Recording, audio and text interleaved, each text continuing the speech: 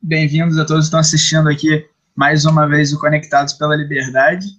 Hoje o nosso tema é um liberal no movimento estudantil e a gente está aqui com Pedro Duarte Júnior, que hoje é presidente do DCE da PUC Rio de Janeiro, conseguiu entrar nesse nicho estudantil que antes era dominado pela parte da esquerda e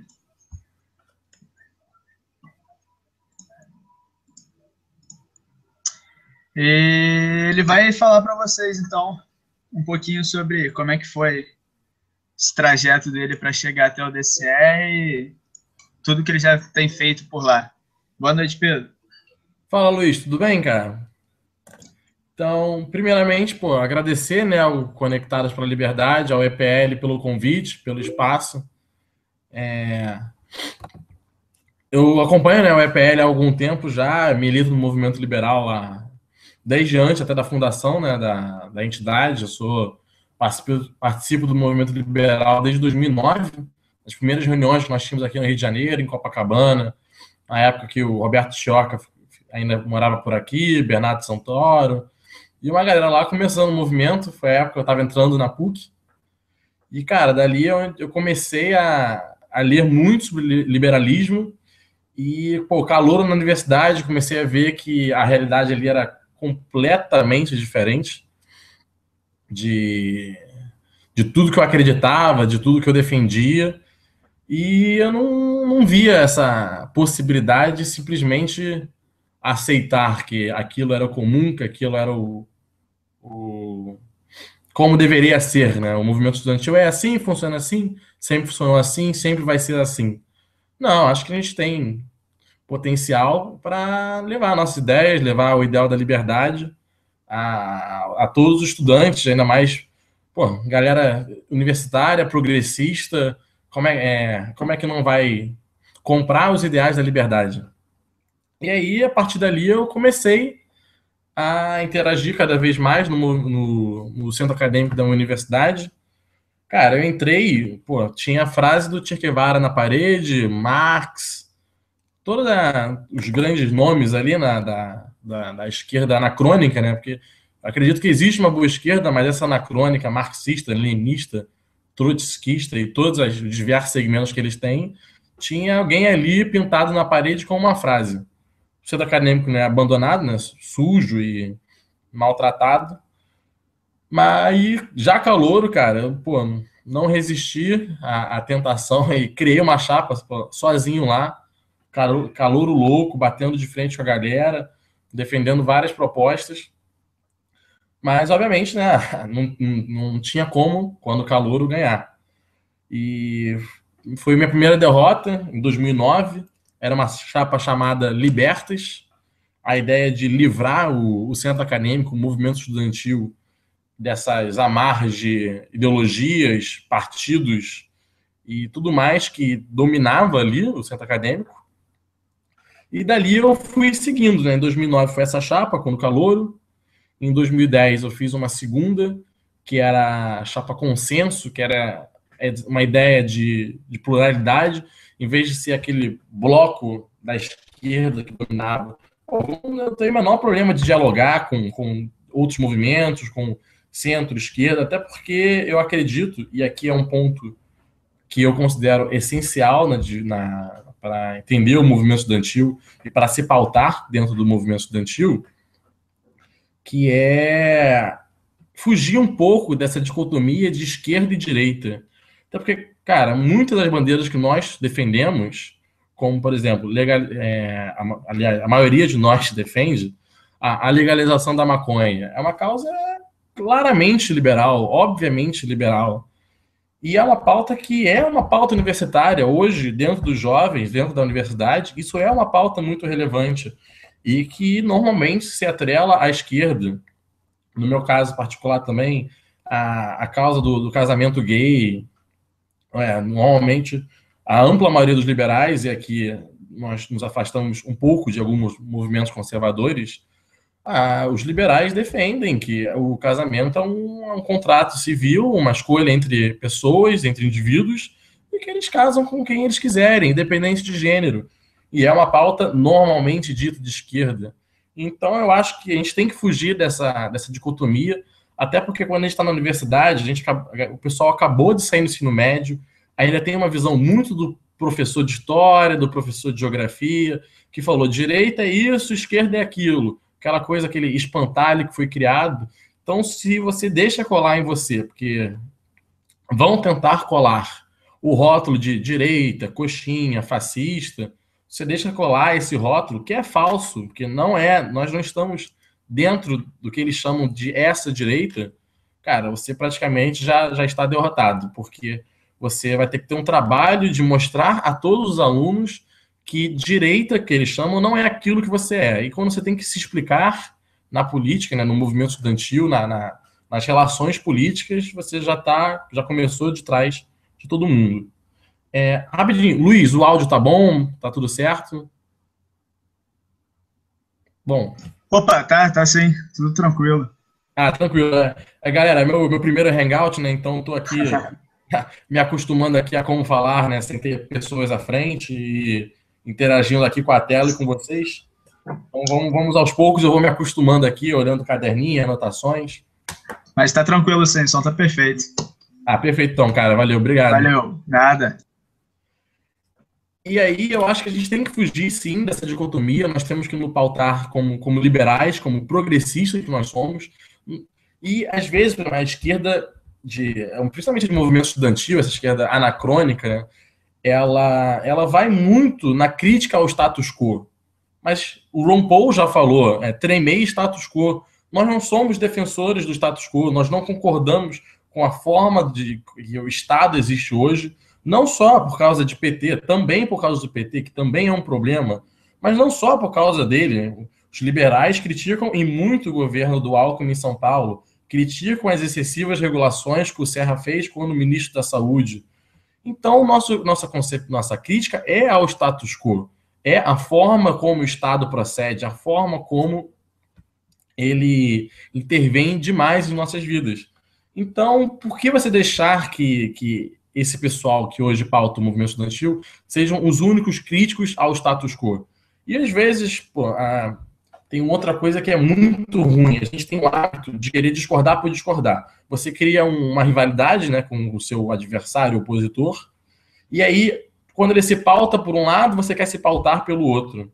Isso está errado, só porque, não só, só porque ele está criticando um, um A que você tem que defender A para se mostrar contra. Às vezes você vai concordar, tem críticas que são da que a esquerda faz que são extremamente relevantes, que são que devem ser feitas a, a por exemplo, a um congresso conservador, a um congresso que resiste a, a pautas sociais, sendo que algumas delas são relevantes.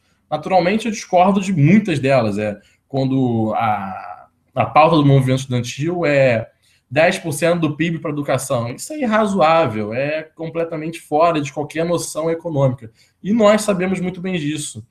Só que existem algumas pautas sociais, como, por exemplo, já conversei, a legalização da maconha, o casamento igualitário. São, são pautas sociais, são pautas relevantes, e nós não precisamos estar sempre discordando dos movimentos sociais. A gente precisa ter um pouco dessa razoabilidade. O aluno médio, e é sempre muito importante focar nisso até em disputa universitária. Cara, a, existe um eleitorado fixo, que é um eleitorado que acredita em, em liberdade, acredita em, em, mercado, em razoabilidade financeira, acredita em pô, funcionamento de empresa, empreendedorismo, tudo isso. Existe um eleitorado que acredita nisso. Existe um eleitorado que está mais pautado à esquerda, que pô, vai defender um, um governo regulador, vai defender que o movimento estudantil tem que defender causas sociais e vai pautar 10% do PIB na população. Mas, cara, quem elege os dois lados é o aluno médio. É aquele cara que, pô, ele quer saber de uma boa palestra, ele quer ter boas palestras para assistir. Ele quer que o, pô, o centro acadêmico, o DCE, o ajude no, em projetos extracurriculares. Ah, eu quero fazer um grupo de estudo focado em, em direito, eu quero fazer um grupo de estudo de geopolítica, de marketing. Isso é o interesse dele ele quer ter um campeonato de futebol, ele quer também que às vezes você se paute é, frente à universidade em algumas demandas, como pô, é, bandejão, valor do estacionamento, ou pô, o campus da universidade está sujo, o campus não está seguro. Ele quer que você leve essas demandas estudantis à reitoria, aos órgãos administrativos. E, cara, isso é uma pauta liberal? Isso é uma pauta socialista? Isso é uma pauta. Eu acredito que seja uma pauta consensual. E aqui vai boa parte da, do, da, do que eu acredito, né, que eu dou como. Para formar uma, uma chapa, por exemplo. É importante que exista um núcleo é, coeso. Ou seja, as pessoas têm que concordar minimamente em algumas premissas. Senão, aquela galera se une, você faz um, um blocão de, de união você vai começar a discordar em um mês, vai ter gente saindo, vai ter discussão, o grupo se desmotiva e se desfaz. Então é importante que você tenha um grupo coeso, um núcleo coeso ideologicamente. Pessoas que concordem em ideias, pessoas que concordem em ideologias. Só que não é só porque você formou um núcleo desses, digamos, um núcleo liberal, que a sua gestão, as suas propostas, a sua chapa precisem ser liberais. O que é um liberal dentro de um DCE? você vai pautar a desregulamentação da, do DCE, isso não existe.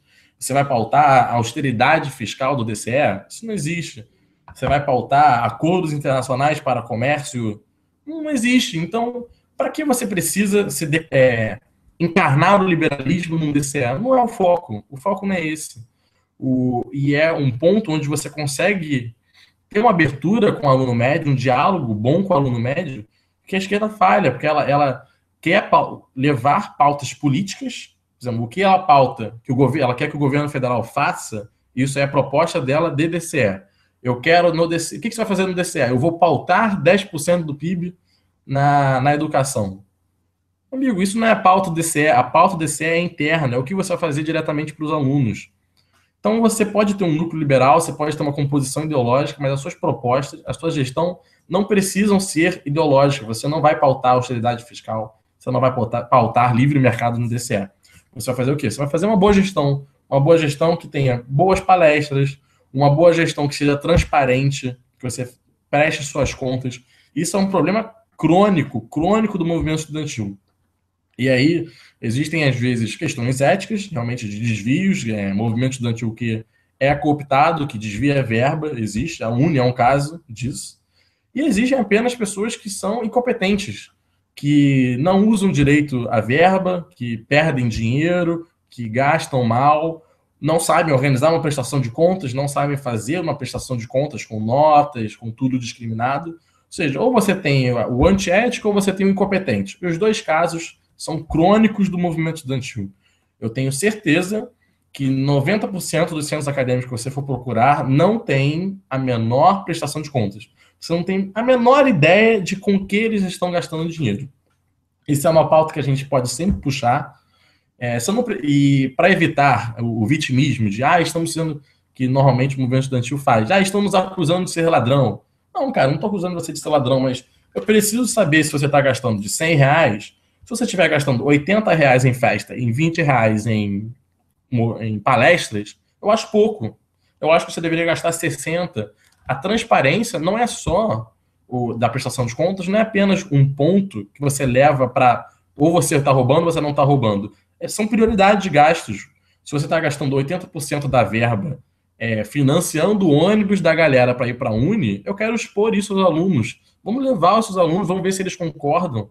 E acreditem, o aluno médio não concorda em gastar dinheiro do diretório central para bancar ônibus, para a galera ir para a Uni, para ir para esses tipos de encontros que são encontros partidários. É reunião do pessoal com PT, com PCdoB, com PSTU, com PCB, PCR e todas essas siglas que algumas estão por acabar, felizmente. Então, isso, é, o aluno médio não vai concordar com isso, e acredite, 90% dos centros acadêmicos ou DCEs gastam uma verba considerável fazendo isso pagando ônibus e ajuda de custo para levar seus alunos, que normalmente são filiados a alguns partidos que fazem ali a base da gestão, para esse tipo de encontro. São delegados, voltam junto com o partido, aí ganham moral na juventude do partido, enfim, uma, um absurdo, é uma cooptação total do, dos órgãos estudantis. O aluno médio não vai concordar com isso. Então, por isso tem que pedir transparência. Porque e focando nisso. Eu não quero provar que você é ladrão, que você não é, meu ponto não é esse. Eu quero mostrar que as suas prioridades dentro do movimento estudantil não são as que o aluno médio, ao que os alunos querem. É... Então, cara, transparência é um ponto principal. É, boas palestras, foco acadêmico, outro ponto crônico da galera do movimento estudantil. O foco acadêmico deles é, é muito baixo, marcam poucas palestras. Debates, então, cara, é o maior problema de todos, é o cafezinho.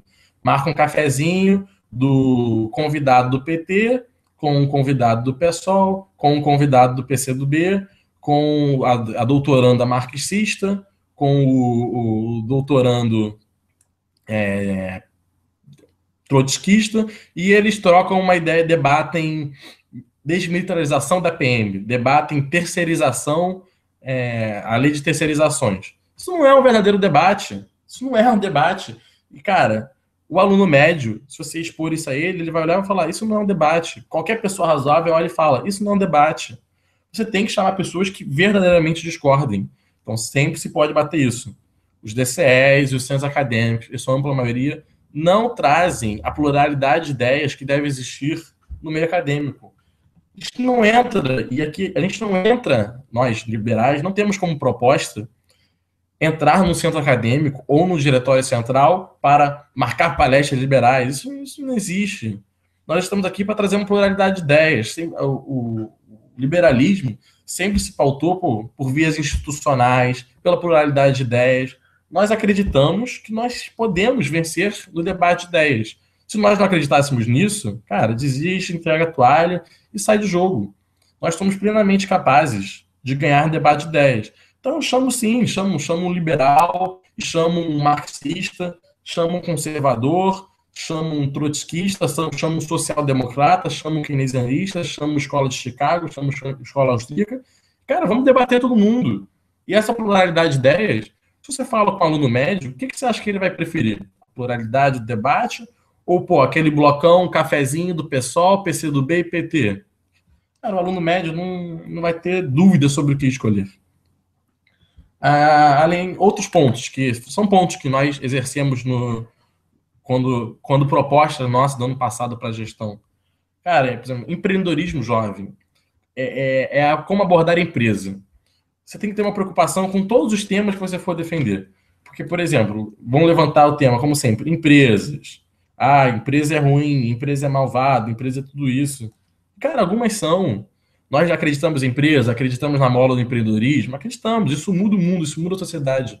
Mas, cara, JBS, o quanto a JBS Foods ganha de, de, de, de dinheiro do governo, quanto ela é subsidiada, o latifundiário, ah, criticam a reforma agrária. Cara, mas a gente defende necessariamente o latifundiário, o que pegou terra grilada, o que recebe subsídio do governo para que o produto dele seja mais barato e ele consiga competir lá fora por causa disso?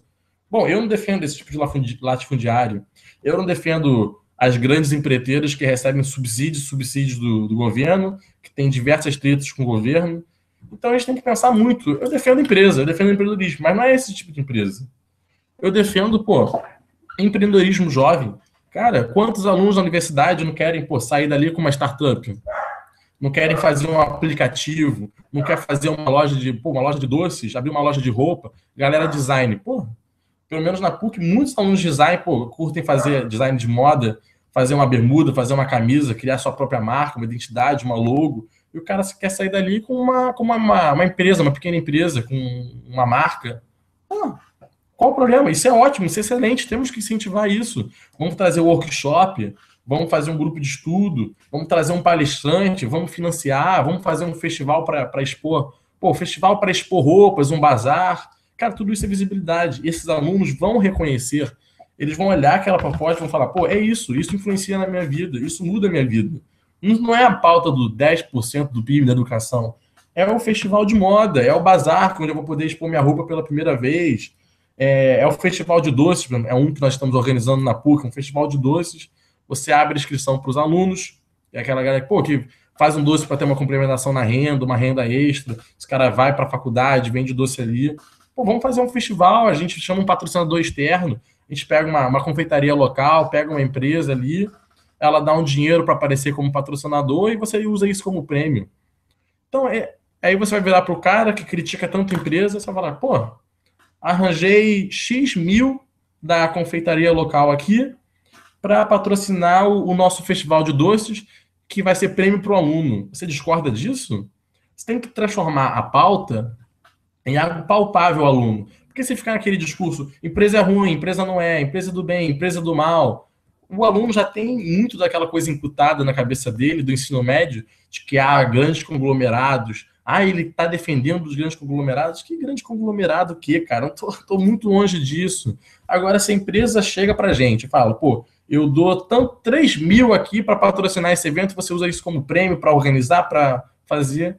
Cara, isso é ótimo. Você está pegando empresa e está trazendo benefício ao aluno. Então você tem que focar isso. Empresas na universidade podem ser boas, são ótimas, mas você tem que trabalhar as propostas nesse ponto. É para converter em benefício do aluno.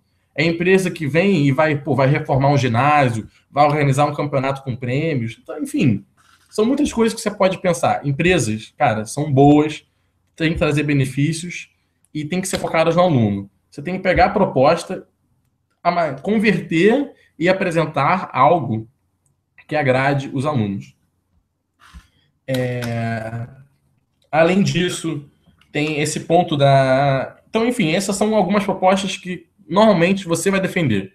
Transparência, foco acadêmico, foco esportivo, como campeonatos, é... apoio às atléticas, que são comuns em diversas universidades, são órgãos estudantis normalmente ignorados pelo movimento estudantil, porque pelo movimento estudantil mainstream, porque eles não aceitam que alunos queiram se reunir para pô, fazer esporte, para zoar, para fazer uma música, para treinar, porque isso para eles é falta de consciência, de consciência coletiva, de, de noção política. Ah, o país está em crise, o, o Cunha está fazendo desmandos na Câmara Federal e você está aí querendo jogar futebol. Cara, uma coisa não impede a outra. Então, pô, vamos ter uma boa relação com as atléticas, vamos apoiar. Então, existem diversas propostas que um liberal vai defender, que não são propostas liberais. Você não está defendendo a austeridade fiscal, mas são coisas que você acredita. Você acredita que as contas têm que ser prestadas. Você acredita que a, a faculdade, a universidade deve ser pautada pela pluralidade, pela pluralidade de ideias. Você acredita que as empresas podem trazer benefícios aos universitários. Então você mas você tem sempre que trabalhar a sua proposta de forma que ela seja palpável e facilmente compreensível para os alunos. Cara, foge de espantalho. Não deixem, não deixem que se criem espantalhos sobre você. Que eles rotulem e que eles façam aos alunos a imagem sua. Quem faz a sua imagem é você. Trabalhe bem suas propostas, saiba apresentá-las aos alunos, não fuja do debate. Quando o cara começar a inventar mentira, cara, aparece e fala, cara, sei o que você está falando. Não é isso. É isso aqui, ó. Pá, pá, pá, pá. Simples, esclarece. E há também as propostas que usualmente são defendidos pela, pelo movimento estudantil. É, por exemplo, no diálogo universitário, é, eles acreditam muito da mesma que eles devem funcionar da mesma forma que eles funcionam com o governo federal. Vamos fazer, vamos bater o pé, vamos fazer protesto, vamos sentar a bunda na, na reitoria, vamos sentar na porta do reitor, vamos fazer protesto, cartaz, tudo isso, e vamos conseguir todo, tudo que a gente vai, quer. E acabamos conseguindo nada. Praticamente nada. Assim como os 10% do PIB da educação. Não conseguem. Ou, enfim, é, eles aparecem muito mais do que têm resultados efetivos. E aí, pô, um parabéns para a galera da, da UNB, da Aliança para a Liberdade, que foca exatamente no diálogo institucional. As universidades, elas têm conselhos universitários, elas têm órgãos nos quais os estudantes têm vagas por terem sido eleitos, para que lá você possa expor suas ideias. Cara, o diretor do reitor, os reitores, vice-reitores, a ampla maioria deles estão interessados em melhorar a universidade, estão interessados em atender suas pautas. Se você chegar lá, pô, cara, isso aqui é razoável, e se for factível, muitas vezes o cara vai aceitar, vai propor. Só que se você chega batendo de frente, dando porrada, reivindicando coisas absurdas, você só vai ser ignorado. Então, o diálogo, você pautar o diálogo acima do enfrentamento, é muitas vezes um ponto super positivo na, no movimento estudantil e na relação com a sua universidade, com a reitoria da sua universidade. E é um ponto que, novamente, o aluno médio, quando você explica bem isso a ele, ele concorda, ele entende, ele, ele vê que isso é factível. Então, por exemplo, ano passado, na nossa disputa de eleição, é, estava pautando a redução do bandejão da universidade. Redução geral do bandejão. É, na PUC, o bandejão é, é, usualmente mais caro do que nas outras universidades, até porque ele não tem subsídio do governo, né, ele é subsidiado pela própria universidade. E estavam defendendo uma redução geral do bandejão, porque isso afeta os, a, o aumento, o encarecimento do bandejão afeta os bolsistas. E, de fato, afeta os bolsistas. É, e de novo, aqui é um ponto que a gente não pode simplesmente abandonar ou esquecer a pauta que eles trazem. Porque isso é um hábito de boa parte das pessoas, como eu falei no início. Ah, ele defende A, ele defende a redução do bandejão. Isso é pauta dele. Isso aqui não é minha pauta. Eu vou defender o meu. Não, meu amigo, isso aqui é uma pauta, isso aqui é importante, isso aqui realmente afeta os bolsistas. Você tem que pensar, mas como é que você se diferencia? Como você se diferencia dele? Ele, como sempre, como é padrão desse tipo de movimento, vai fazer uma pauta absurda. Se hoje o rebandejão é seis reais, ele vai falar, eu quero que seja três reais para todo mundo. Irreal. Se a universidade está subsidiando e ela está aumentando, e ela tem um motivo para aumentar, porque ela não aumenta de louca, é porque tem, tem alguma coisa que está acontecendo. Ela não vai reduzir de todo mundo de seis para três.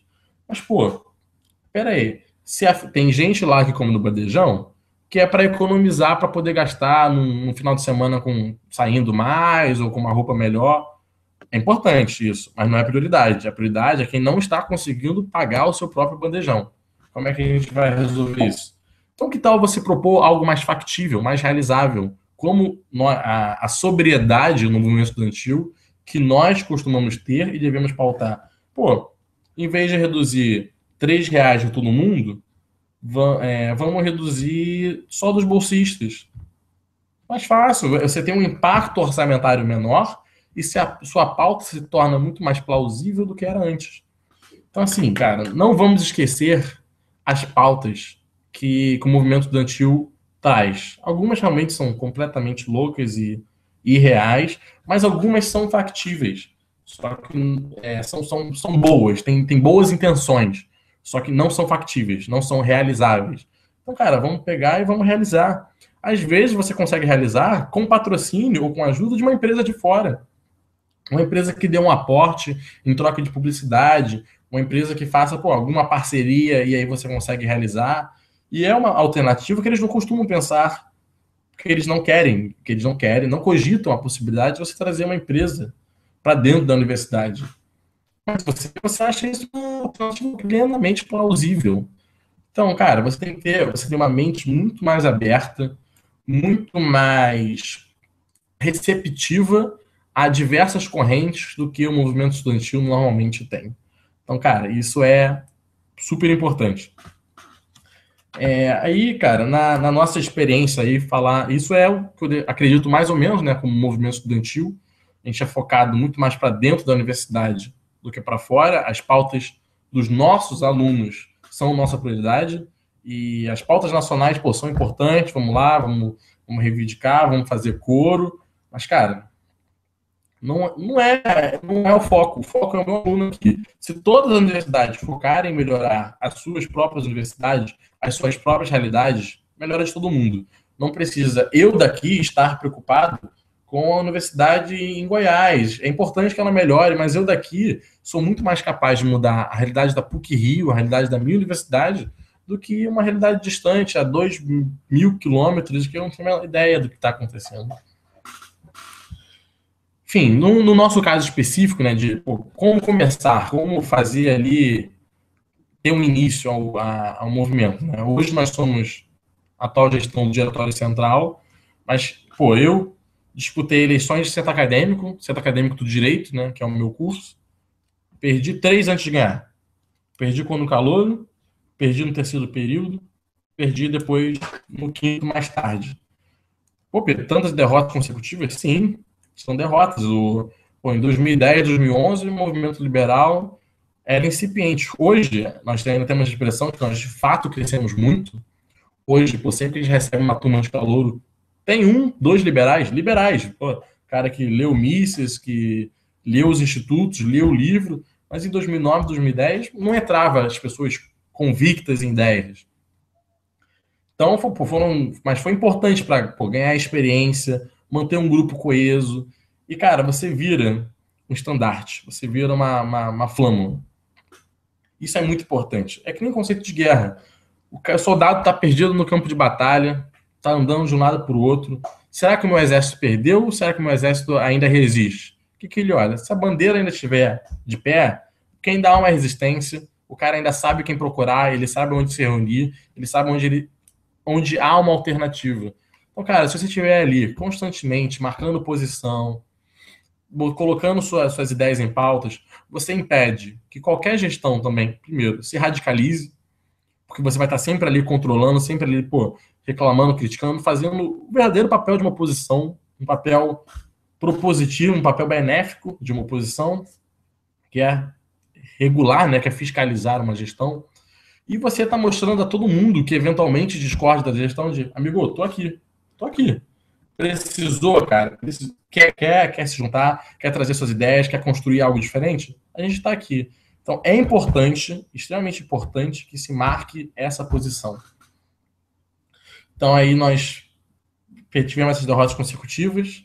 Depois ganhamos, ganhamos muito bem. Na PUC a gente ganhou no Centro Acadêmico de Direito, a primeira vez que ganhamos, por quase 400 votos, já cento e pouco. Depois de tantos anos desgastando a gestão, tivemos uma vitória pô, é, sólida, né, consistente. E aí passamos dois anos no Centro Acadêmico de Direito. Isso é um ponto positivo. Da mesma forma que é muito difícil da PUC eu mudar o Brasil, é muito difícil você começar querendo mudar o seu diretório central de estudantes. É, vamos aos poucos, vamos devagar. Que nem, pô, a Aécio vai ser candidata a presidente, foi governador. A Alckmin vai ser candidata a presidente, foi governador. Então, cara, vamos começar aqui no, no que está mais próximo. Vamos começar aqui no centro acadêmico, vamos ver quais são as propostas, como vai funcionar. Você forma um grupinho na, no, no seu curso. Se todo mundo se der ao trabalho de formar o seu grupinho no seu curso, daqui a um tempo você, pô, entra em contato com a galera de economia, entra em contato com a galera de engenharia, de ciências sociais, de história, você vai vendo que em cada curso tem um pequeno núcleo. E aí, pô, você vai disputando, invariavelmente, um ou outro vai ganhando algumas gestões de centro acadêmico, faz o bom trabalho que deve ser feito, que eu confio que nós somos plenamente capazes de fazer, um trabalho que agrade aos alunos, que traga novas ideias do mundo estudantil. E aí, quando você cria uma base sólida, aí sim é o momento de se disputar o diretório, um, um diretório central de estudantes com chances de, de, de, reais de vitória. Eu não descarto totalmente a possibilidade de se disputar um DCE, sem, ainda que a, de, a derrota seja certa para marcar posição, acho positivo, mas eu acho que durante um tempo isso é uma função secundária. A função primária é pautar o seu centro acadêmico, é pautar o que você quer fazer de bom ali. Você tem que mostrar trabalho, amigo.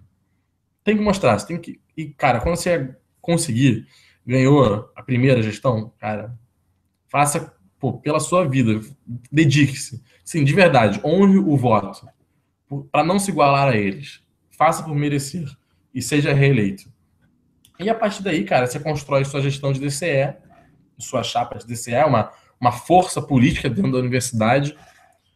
Não se limite aos, à, à sua zona de conforto, como, ah, é, o meu núcleo, eu sou forte na, na, engenharia de exatas, sou forte em economia, vamos juntar aqui, vamos, pô, vamos correr atrás com isso. Cara, não, não, não, não. não. Se você defende a pluralidade você tem que, você, e a representatividade, você tem que abranger o máximo de cursos possíveis.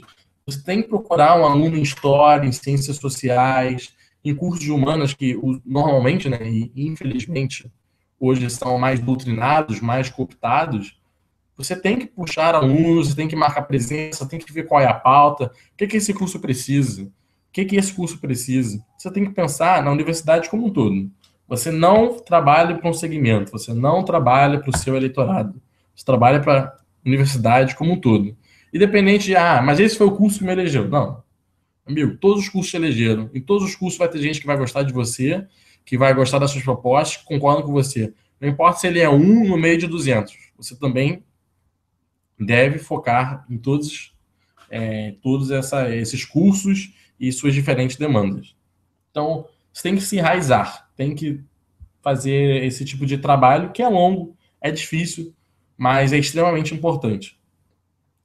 E é isso, cara. Para você conseguir puxar esse tipo de. conseguir se enraizar, você tem que ser uma pessoa maleável, dialogável. Acredito que o movimento estudantil é um, ainda mais, é um lugar que as pessoas têm muita ideias muito fortes, né? Que é algo típico dos jovens. O cara é muito de direita, o cara é muito de esquerda, o cara é muito é, radical, convicto nas suas ideias. Mas eu acho que o diferencial é se você quer fazer um, um papel assim agregador, você quer trazer algo diferente para a universidade, é sempre se pautar no diálogo. Cara, converse com todas as correntes que queiram conversar com você. Sim, claro, você tem suas pautas, nunca abra mão delas. Você tem sua ideologia, você tem suas ideias, tem o que você defende.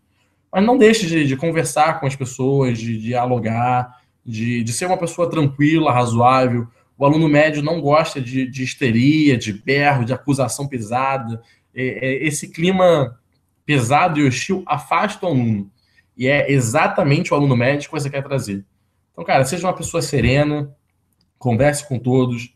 Não há, não há necessidade de acusações pesadas, de baixar um nível de qualquer campanha, de qualquer embate ideológico, embate político. Vamos manter o alto nível. É, é positivo, o aluno reconhece esse trabalho. Naturalmente, não é para ninguém aqui ser bunda mole. Não é para deixar de marcar sua posição. Mas com quem quiser dialogar, vamos dialogar. Até porque nesse ponto de ampliar né, o, o eleitorado, o aluno médio, de trazê-lo para dentro do, do, do, da campanha, né, da, da, do processo eleitoral. Muitas vezes essa, esse mainstream é, do movimento estudantil ele se beneficia muito disso, ele se beneficia da desmobilização do corpo estudantil. Foi um ponto até que a gente iniciou a campanha ano passado, foi como nós, pontapé da campanha, virava para o aluno e perguntava, você, boa tarde, você conhece o DCE? Você sabe o que é o DCE? gente fez uma pesquisa, fizemos uma pesquisa no passado online. 80% dos alunos não sabiam o que era o DCE.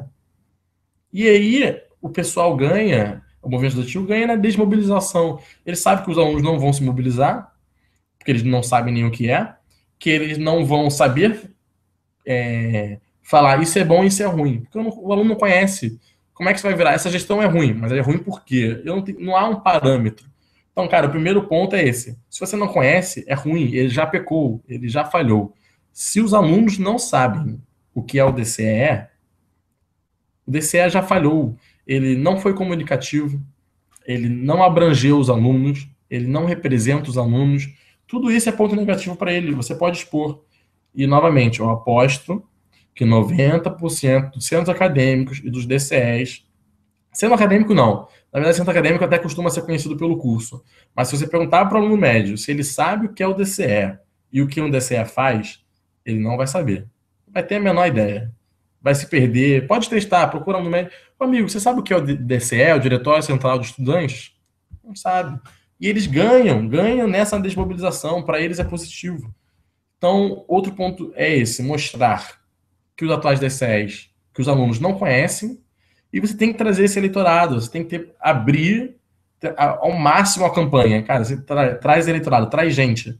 Porque o aluno médio não concorda com as ideias que essa galera defende. Por exemplo, o PSTU é relevante no movimento estudantil. E os caras não conseguem eleger um deputado federal. Como é que então a sociedade concorda com eles? Não, não concorda. Só que as pessoas não sabem que, o que eles estão fazendo, não sabem se, o que eles é, fazem, se, como funcionam, o que eles defendem.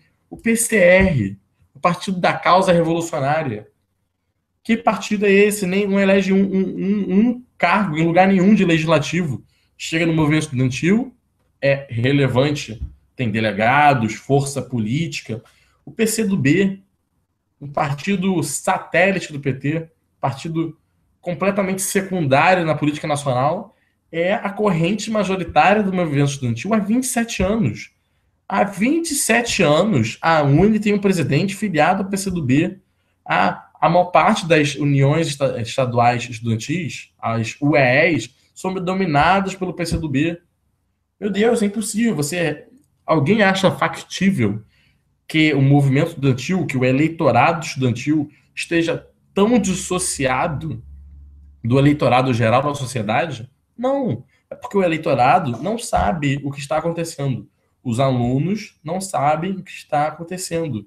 Então, o movimento estudantil, que se diz tão representativo e democrático, ganha e se beneficia da desmobilização e da desinformação do eleitorado, da, do eleitorado dos alunos sobre o trabalho do DCE.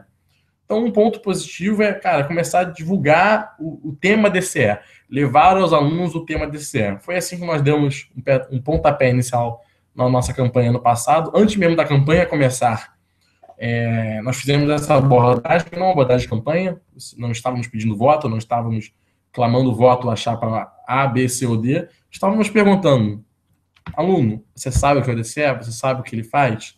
E com esse tipo de abordagem, você vai despertando interesse nas pessoas elas vão vendo que os DCEs do, do Brasil, em sua ampla maioria, são absolutamente incompetentes. Enfim, é, essa foi a forma como a gente conseguiu ganhar. Ano passado, a gente fez um, um núcleo coeso ideologicamente, isso é positivo para que você tenha um grupo eficiente de trabalho, você não tenha tanta, tanta discussão, você tenha pessoas que que saibam conduzir um trabalho de uma forma amistosa. Temos a, uma pluralidade de ideias, é sempre importante trazer. De novo, isso de bloco fechado, de uma ideologia só, pautando uma, uma gestão, pautando uma chapa, é coisa da esquerda anacrônica, essa esquerda de movimento estudantil, que é um, um bloco. Nós não somos um bloco, nós temos um núcleo coeso, um, um, uma meia dúzia, uma quantidade de pessoas que formaram, que deram o pontapé inicial e que colocaram algum, algumas premissas, algumas pautas principais. Cara, todo mundo que quiser construir, independente de ideologia, sou uma pessoa é, dialogável, que queira trazer uma pluralidade de ideias, super positivo. Pô, numa diretoria acadêmica, você quer marcar debates. Pô, um cara ali, pô, de esquerda, pô, pessoal, marxista, dialogável, queira construir com você, é ótimo. Pô, você vai chamar um liberal, um, um austríaco, um conservador para debater, o cara vai chamar um marxista, vai chamar alguém para discutir uma visão oposta. Cara, vocês estão fazendo um ótimo trabalho, vocês estão fazendo um, um, debate de verdade. Mas a questão é essa: a pessoa tem que concordar em pluralidade, que foi uma premissa que o seu núcleo coeso colocou. O, você também colocou em pauta o apartidarismo. É uma coisa que na, no movimento estudantil, as, essas, a, o mainstream discorda completamente. Diz que não existe partidarismo, todos nós somos um pouco partidários. Ah, mas não é só porque cada um é um pouco partidário, também a gente vai chutar o balde que nem eles fazem e dar dinheiro do DCE para bancar filiado do PT, aí Congresso Nacional é, discutir mil coisas relacionadas quase que única e exclusivamente aos seus partidos ou às suas ideologias. Então, cara, Basicamente, eu acho que é isso. Acho que é, é mais, por, mais ou menos por aí que a gente se pauta. Como gestão, nós, tudo aquilo que eu falei de proposta, é o que nós estamos tentando fazer, sempre sendo abertos, convidando os alunos, se abrindo para porrada também, para tomar crítica, sempre discutir, porque isso mobiliza o aluno. Ah, um dos fatores que nos fez este ano, quando gestão, sermos mais conhecidos, foi um embate com a oposição que vinha discutir, vinha debater, o que é extremamente positivo, a gente rebatia, na, discutia na, na, internet, e o aluno passou a ver o que era o DCE até a partir dali. Ali, mais do que antes, ele começou a ver que é, o que é o DCE, como ele funciona, quais são as ideias que as pessoas defendem. Então, acho que no geral é isso aí. Espero que tenha suprido a maior parte das dúvidas da, das pessoas. É um breve relato meu, da, da minha experiência, né, para disputar isso. E agradeço novamente o EPL, abre, acho abre para perguntas, né? É, então, o pessoal aqui fez umas perguntas no evento, aí eu vou repassar elas aqui para você, pode ser? Show, estou abrindo aqui o Facebook também para dar uma olhada. É, então, aqui, primeira pergunta do Raul Leão, ele perguntou, foge um pouquinho do tema, mas como convencer e explicar para as pessoas mais leigas, ou então para aquelas que são mais doutrinadas, que o, liber, que o liberalismo não é favorecer grandes empresas, outros pseudo-argumentos, é, incluindo dizer que as próprias grandes empresas são contra o livre mercado, etc. Bom, tranquilo. É, vamos tentar responder aí. Acho que acho que eu já tangenciei o tema, mas vou voltar nele. É, cara, nesse tema, nessa questão do liberalismo, favorecer grandes empresas e incluindo dizer que as próprias grandes empresas são contra o livre mercado. Se você entra nesse debate de ah, as grandes empresas são contra o livre mercado, o livre mercado é isso, o livre mercado na verdade é aquilo, de novo, isso não é a pauta do movimento estudantil. O aluno não está interessado em saber se as grandes empresas são contra o livre mercado, se o, o, livre mercado é cooptado pelas grandes empresas, ou se a culpa é do governo que, que tenta cooptá-las para seu benefício próprio. Esse, por exemplo, esse ponto de que explicar que favorecer, você não quer favorecer grandes, IP, grandes empresas e explicar que as grandes empresas são contra o livre mercado. Eu acho que entrar nessa discussão é seguir a pauta que, que eles querem, é levar a discussão para um lado ideológico, um lado abstrato, teórico, que não é o foco. Essa discussão não interessa ao aluno médio. Ele não quer saber, no geral, se as grandes empresas são contra o livre mercado, se é o governo que coopta o livre mercado, ou se é o, livre, se é o mercado que coopta é, o governo. Não é isso que interessa a ele quando você entrar no tema da empresa, foge desse lado que é o lado que ele quer, que é aquela discussão teórica abstrata. Você vira e mostra, como eu falei antes, que as empresas podem trazer benefícios para dentro da sua universidade. Através, pô, a empresa pode patrocinar um festival de doces, um festival, um concurso, um concurso de pesquisa, de, de premiação, de campeonato. Nós estamos, por exemplo, essa semana tive uma reunião com uma empresa que quer reformar uma fachada de um hotel. E, pô, quis fazer um campeonato, uma, um concurso entre os alunos de arquitetura para dar um prêmio, eles ajudam na fachada, tem um prêmio em dinheiro. Ué, você. Aí você vira pro cara e pergunta: essa empresa que está se envolvendo aqui, ela está prejudicando os alunos ou ela está beneficiando os alunos? Não está cobrando nada do DCE, não está cobrando nada dos alunos. Está dando uma oportunidade, o cara, pô, tem um trabalho inicial numa fachada de ganhar um dinheiro. Isso é ruim? O cara que patrocina um festival de doces está fazendo algo negativo para os alunos, uma parceria, um desconto, restaurantes perto da universidade, você vai lá, negocia descontos com eles, mediante apresentação de carteirinha. Você está envolvendo as empresas, você está tá trazendo prejuízo aos alunos ou benefícios? O aluno médio, qualquer pessoa razoável, vai olhar e vai ver, cara, isso é benéfico, isso é positivo. Poxa, empresas têm um lado bom, não são tão ruins. Então, é como saber abordar foge dessa discussão teórica, que é furada, e, e foca nos benefícios práticos, próximos e reais que uma empresa pode trazer. Eu acho que a abordagem é essa. Você tem que criar sua própria abordagem e fugir da deles. Obrigado, Raul. Opa. Que... Aí agora a pergunta do Nicolas Paulo. É, ele perguntou como conquistar espaço de forma saudável em universidades que já possuem movimentos estudantis de esquerda com longa história de conflitos entre si até. Certo, certo. É, acho que foi um caso até da, da UNB, né, da primeira vitória da, da Aliança para a Liberdade, lá, que haviam, havia sete chapas de, de esquerda, PSTU, PCR, PSOL, PT, e cada uma pautando a sua. A Aliança para a Liberdade correu por fora bateu os 20 e pouco por cento dos votos e foi eleita. É, eu acho e e depois acabou se unindo, né? Você tem que ter uma, uma, preocupação com isso, porque às vezes se você começa uma campanha muito cedo, com muita antecedência, e você se mostra como uma força política real, que tem chance de vencer, a esquerda que é fragmentada e normalmente, e é extremamente comum, que ela se autoflagela, que ela se destrói e cria um embate entre si, os caras também têm um puta faro político para olhar, ver que tem chance de perder, se unirem e dificultar cada vez mais o trabalho. Então, acho que cabe observar né, a realidade política um pouco de cada universidade.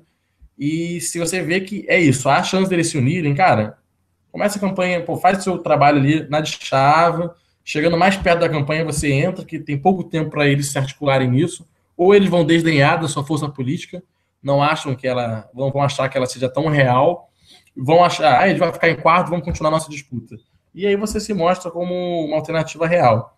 Outra alternativa é você ter um diálogo aberto e pouco de pouco combate a eles, porque o homem ele se pauta muito pelo ódio, pela raiva, em todos os lugares, em todos os âmbitos possíveis. Então, se todos esses essa galera fragmentada começar a te odiar, começar a ver que você é um inimigo em comum, pronto, aí você deu o maior motivo para eles se unirem, que é o ódio a você. Então, se você for um cara tranquilo, como eu disse, sereno, a gente se pauta de forma sóbria, tranquila no movimento estudantil, você pode tranquilamente dialogar com todos eles, evitar qualquer ódio, e aí quando chega a época da campanha, cara, aí você cai para dentro, disputa mesmo e, pô, é só bala de prata para ganhar. Acho que a minha dica vai mais ou menos por aí. Tranquilo, agora tem, tem mais duas perguntas aqui. Uma é do Felipe Drummond. Amigo é... pessoal. é, Para quem não almeja carreira política, vale realmente a pena engajar-se politicamente em órgãos de representação estudantil? Disputar centro acadêmico, DCE, disputar de cargos, em especial em ambientes amplamente hostis a qualquer forma de não esquerdismo como a UERJ. Porque o Aliança pela Liberdade, como você já citou, da UNB, parece uma experiência tipo única do gênero é, e, a, e a juventude universitária, especialmente na universidade pública, parece uma causa perdida. Em termos pragmáticos, o liberalismo vale como bandeira ostensiva na universidade ou não é melhor só estudar e resolver a própria vida? Então, tranquilo. Foi a pergunta do Felipe Drummond, né? Isso, isso. Então, tranquilo. É... Felipe, a gente já teve, acho que até algumas vezes a gente teve uma leve. Já conversamos um pouco sobre a questão. É, eu acho que depende muito do, do, da, da, do intuito da pessoa mesmo. Se o foco dela é, pô, é, é, estudar, resolver a própria vida e ficar fora disso, acho pô, completamente plausível. Mas, como eu disse, nós temos uma geração de liberais que está surgindo. Antigamente, a, a galera que batia de frente né, com, com, com, com o esquerdismo, com a esquerda do movimento estudantil, era muito apenas por discordar da esquerda. Não havia uma proposta coesa, ideológica, com novas ideias trabalhadas e bem pensadas. Eu acho que o homem é político e se ele tem interesse por aquilo, é muito difícil ele abandonar. E você sabe muito bem disso em alguns pontos, e muito nós sabemos, falamos. Ah, eu não discuto mais na internet, não vou mais me estressar com isso. Dá três dias está discutindo de novo. Então, eu acho que não há por que negar essa vontade da gente quer pautar nossas ideias. Se nós queremos mostrar que existem alternativas e algo diferente, eu acho que vale sim um, um enfrentamento, que vale o desgaste. E, naturalmente, a gente sabe que, que o, o ataque de volta da esquerda é consideravelmente pesado e que muitas vezes você perde amizades. Então, eu acho que é, para quando o ambiente é mais ou menos esse, você tem que se pautar ainda mais na pô, sobriedade, pouco, pô, pouco enfrentamento pesado, direto, com acusações, para evitar esse tipo de, de coerção social que a esquerda faz, que o movimento estudantil faz, de perseguir, cercear, humilhar, desmerecer as pessoas que fazem o embate ideológico. Você tem que tentar diminuir isso mostrando que você traz apenas pluralidade de ideias, que você é intrinsecamente benéfico ao movimento estudantil, porque você traz algo diferente. Ainda que eles não concordem com isso, é algo que é óbvio para 90% das pessoas. E existem pontos positivos em, em disputar o CA. Se você conseguir ganhar, pô, melhor ainda mais. Cara, você faz um, um network muito bom, grandes amizades, você se aproxima de pessoas, você ganha uma maturidade em planejamento, em, relação interpessoal. Cara, você se relacionar com pessoas dentro de uma chapa, de uma gestão, não é fácil. Por você fazer gestão é ainda mais difícil, todo o planejamento, execução, o, o network é ainda mais amplo que você faz. Tudo isso é, é benéfico para a sua, para sua vida pessoal, te engrandece como pessoa. Esse o próprio enfrentamento ideológico te, te escancara algumas realidades, você começa a perceber o modus operandi de, de, de, boa parte dos movimentos sociais, de boa parte da política brasileira. Então, assim, eu acho que é engrandecedor e, e, e esclarecedor. Eu acho que agrega a pessoa. Agora, claro, se você está num ambiente tão hostil, eu acho que vale, pô, disputar ali uma vez, tentar uma vez, talvez duas, conhecer algumas pessoas, talvez, às vezes, nem, nem focar tanto na disputa, mas ao menos no embate, numa fiscalização de oposição, contanto que não comprometa a, a sua vida acadêmica, não comprometa a sua vida pessoal, eu acho que ter um nível de embate não, não tem problema algum. Acho que realmente varia muito de, de cada realidade da universidade, do quanto de engajamento a pessoa quer ter. Mas, no geral, eu sou um exemplo de quem gasta bastante tempo com isso, que persiste nisso.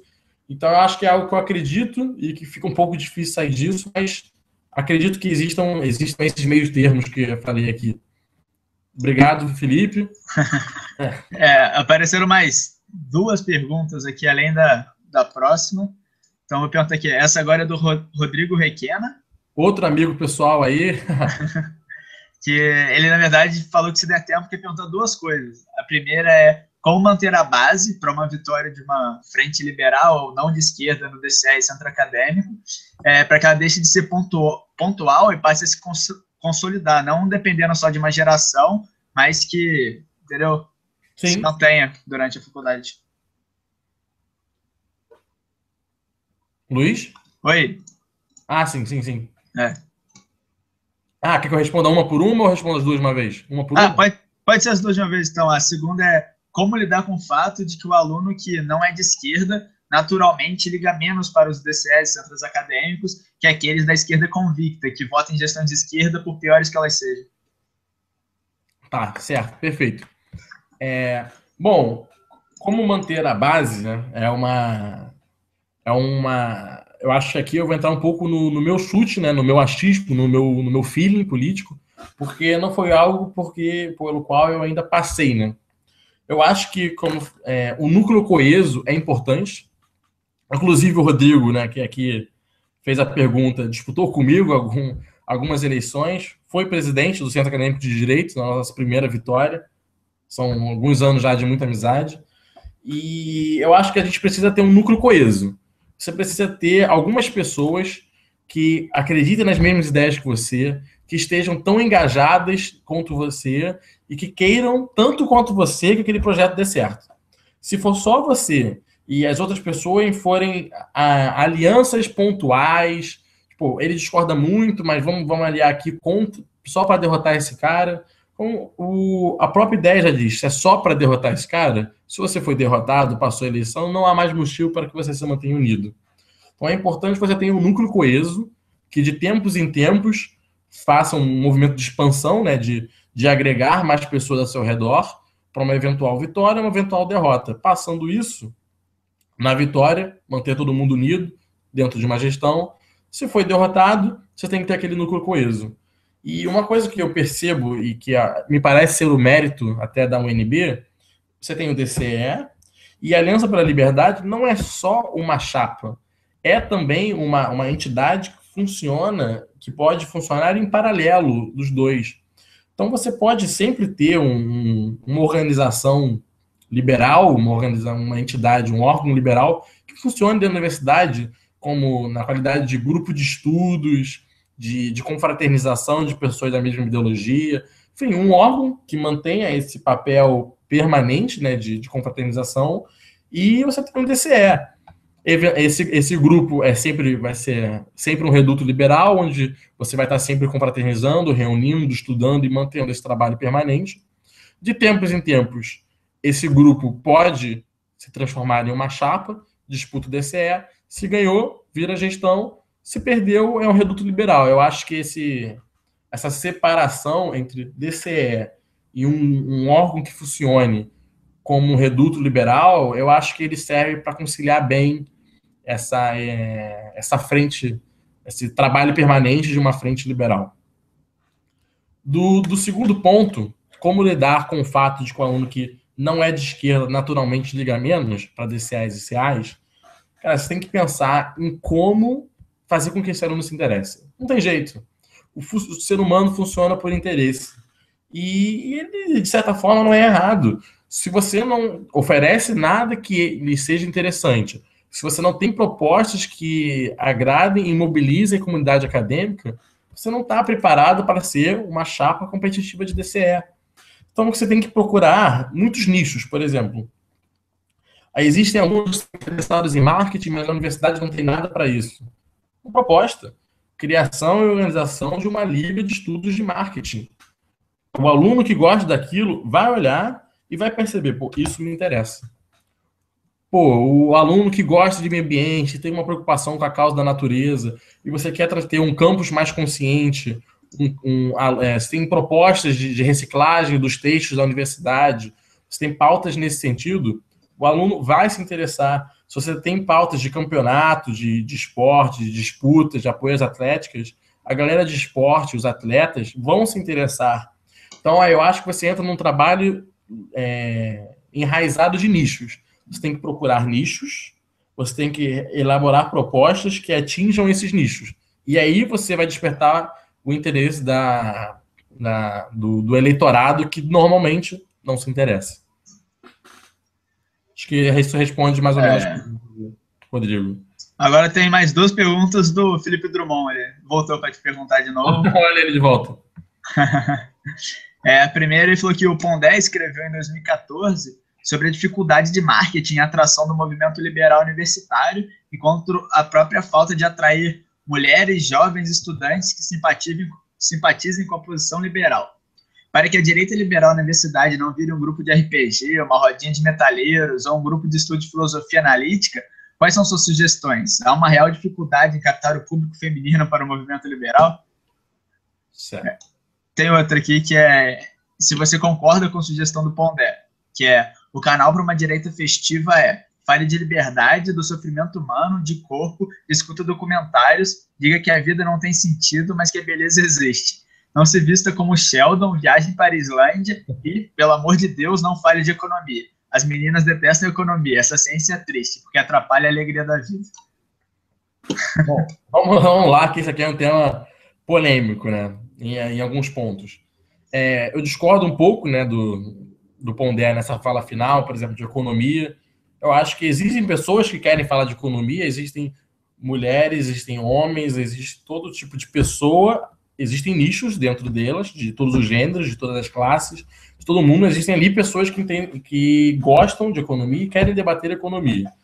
Então, eu não acho que seja uma questão de meninas detestam economia. Agora, eu acho que você não pode estar 100% do tempo falando de economia. Assim como você não pode estar 100% do tempo falando de academia e de malhar. Eu acho que é, é saber abordar as pessoas com o que elas querem ouvir. Nem todo mundo quer falar de neoliberalismo, austeridade, austeridade fiscal ou qualquer coisa do gênero. Então, eu acho que é, é saber abordar seu eleitorado. Agora, eu concordo com, com, com, com o Pondé no primeiro ponto, de que você não pode pautar um movimento, uma, uma direita liberal, é, que seja uma rodinha de metalheiros, grupos de estudo filosofia, que seja algo tão limitado. Mas aí entra em parte um, um demérito né, da, da direita e às vezes o um mérito da esquerda. Há uma preocupação real muito maior dentro da, da esquerda. Na, às vezes é uma preocupação falsa, é uma preocupação apenas da boca para fora, mas também existe uma preocupação, por vezes, real do, do, do, empoderamento da mulher, né, de dar o espaço para que a mulher participe da política. Isso é importante porque Sim, pra, já lidei com bastante gente em, em, em em universidade, né, em movimento estudantil, existem muitos homens que tratam a mulher como um papel secundário dentro de, de uma gestão, dentro de, de uma, um grupo político, e não é, e não deve ser assim, nem pode ser assim. É, a mulher tem que ter um protagonismo, tem que ter espaço, e quando ela tem espaço, ela se sente perfeitamente confortável para falar de economia, para falar de filosofia, ou se não for do interesse dela, para falar de, de design, para falar de comunicação, ou para falar de qualquer coisa, como qualquer homem faria. Acho que é uma questão de, de a gente saber ter maturidade para lidar com isso. Afinal, é, às vezes é patético, você tem um grupo só de homens, aí assim que entra uma mulher interessada, todo mundo já pensa em, em arrozar, em chegar, e, e, ou seja, encaram ela apenas por esse lado e não encaram como uma pessoa que veio para agregar, veio para trazer novas ideias. E muitas vezes é aí, é aí que a rodinha de metalheiros, é aí que, que os homens erram, quando eles têm apenas essa visão das mulheres. Então eu acho que é, é uma parte de falha do, do movimento de direita que está aprendendo melhor a, ao, ao longo dos últimos anos a lidar com isso e ainda tem muito a melhorar nesse ponto. Por isso é extremamente importante que, que a gente saiba expandir né, nossa, nossa base, nosso núcleo. Temos que ter homens, mulheres, gays, é, todo, todo tipo de. Todas as pessoas que queiram participar, você tem que dar o devido espaço e, e, pô, e, e real participação dentro de qualquer grupo, porque todos têm interesses e todos têm, é, têm focos objetivos. Opa, tranquilo. Agora, a última pergunta aqui é do Felipe Barbosa. Ele perguntou que até que ponto o movimento estudantil liberal precisa ser apartidário, no sentido de não ter e não permitir filiação a partido político, ou somente no sentido de não usar o cargo do DCE para beneficiar um partido político. Não apoiar como DCE um candidato ou partido, mas poder apoiar individualmente cada um do DCE. Certo. É, por exemplo, tem algumas alas que entendem apartidarismo como ninguém filiado a partido político pode participar da gestão. Discordo radicalmente. Acho que isso é um absurdo, até porque, naturalmente, se uma pessoa tem interesse pela vida partidária, né, por defender um partido, por entrar de cabeça na política, ela não vai se interessar por participar do seu centro acadêmico, do seu DCE. Ou às vezes a pessoa que tem interesse em participar de CA no DCE tem boa chance dela querer participar também de um partido. Então eu acho que, que as pessoas não. Você pode ter pessoas que sejam filiadas a partidos. Só que a gestão, né, o, a chapa, o órgão, tem que ser apartidário. Ele não pode se pautar por nenhum partido. Normalmente a esquerda usa isso como suprapartidário, né, acima dos partidos. Eu não gosto muito do termo, porque, por exemplo, se você tem uma gestão que tem PT, PCdoB e PSOL, é uma gestão suprapartidária, está acima de qualquer um desses partidos. Só que, na verdade, é uma coligação suprapartidária, né? Então, eu acho ruim. Eu acho que você pode ter membros, uma variação, e como tudo na vida, não é, não é 8 ou 80. Tem níveis que são, ah, nós temos alguns filiados, nós temos uma, algumas pessoas que participam de partido político e participam da gestão, e tem também aquele nível que é nítido de quando o núcleo de toda uma gestão é vinculado exclusivamente a um partido ou a uma corrente ideológica. Bom, aí você deixou de ter filiados e você passou a ser uma gestão filiada. Agora você claramente você é uma gestão que tem uma inclinação que se vale da instituição para beneficiar um partido. E aí está completamente errado. Eu acho que o obviamente, o DCE não pode apoiar nenhum tipo de candidato ou partido, mas individualmente as pessoas podem. Agora, convenhamos, nós temos 10 membros, digamos, você tem 10 membros de uma gestão. Os 10 estão apoiando o mesmo candidato. Tem algo de errado, pega mal, ou não está não tá sendo muito, muito crível. Agora, claro, se você tem dois apoiando, sei lá, Dilma, dois apoiando Aécio, dois apoiando Marina Silva, ou tanto apoiando. Você tem um mínimo de mix. Pronto, você, você vê que você tem filiados, você tem individualmente membros apoiam, mas não é uma posição institucional. E às vezes, é, até porque nós muitas vezes acreditamos numa estrutura mais organizacional, né, um, um DCE, como digamos, diretores, presidentes, coordenadores, a gente tem que compreender que muitas vezes a imagem da pessoa vai se misturar com a imagem institucional. E essa pessoa tem que ter sim um cuidado para que, quando ela se posicione pessoalmente, isso não pareça uma visão institucional. É, eu, como presidente da gestão, tenho tentado fazer isso. Você descobre que é um campo muito difícil, muito limítrofe, mas o importante é fazer esforço. Todo mundo falha, às vezes você perdeu um pouco o limite, mas o importante é saber, ter em, em, em mente que isso deve ser separado. Acho que mantendo cada coisa no seu canto, a gente faz é, nosso, nosso discurso da, do apartidarismo, né, que é na, da não vinculação de, uma, de um DCE a um partido, se mantém coeso e se mantém sólido. Acho que é isso aí, Luiz. Obrigado, Felipe, a todos que Então, gente, isso aí, essa foi a nossa palestra, mais uma do Conectados pela Liberdade, com um liberal no movimento estudantil, com Pedro Duarte. Eu deixei a página dele no Facebook, nos comentários do YouTube, tá também no nosso evento, então quem puder dar uma ajudada, curtir, para Obrigadão. sempre ligado na, nas ideias do Pedro, no que ele vem fazendo. E é isso, gente. Muito obrigado por assistirem a palestra. Não se esqueçam que daqui 15 dias, na quinta-feira do dia 27 de agosto, a gente vai ter uma outra palestra com o Guilherme Macolossi sobre jornalismo e a patrulha da esquerda, às 7 horas. Já já a gente vai criar o evento no Facebook, deixar tudo certinho. Desculpa qualquer coisa aí na transmissão, a gente teve um pequeno atrasinho aí de uns 5 minutos, mas faz parte. Então, boa noite, gente. Boa noite, Pedro. Agradecer de novo aí por você ter cedido seu tempo para explicar melhor esse, esse lado das universidades no Brasil aí. Nada, eu que agradeço. Obrigado, Luiz, EPL, Conectados e todo mundo que participou, ouviu, perguntou. Obrigado a todo mundo. Valeu mesmo, galera. Valeu, gente. Abraço.